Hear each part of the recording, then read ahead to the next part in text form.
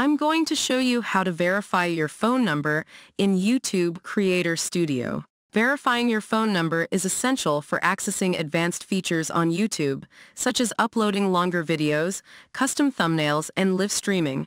It's a simple process, and I'll guide you through each step. Let's get started. Click on Customize Channel to go in YouTube Studio.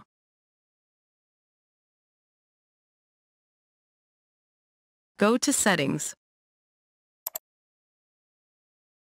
Click on Channel. Go to Feature Eligibility. Expand it. Now click on Verify Phone Number. Select text or call me whatever you like, then select your country. Then put your phone number and click on Get Code.